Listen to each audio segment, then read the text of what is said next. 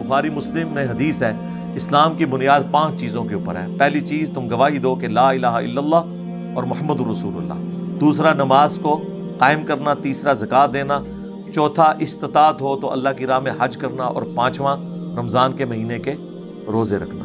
तो ये बुनियादी चीज़ है। कलमा इतनी बुनियादी चीज़ है, इसके लिए किसी को बताने की ज़रूरत नहीं है कि जनाब ये बुनियादी चीज़ है, लिहाजा इस हवाले से आप अपनी असलाह कर लें।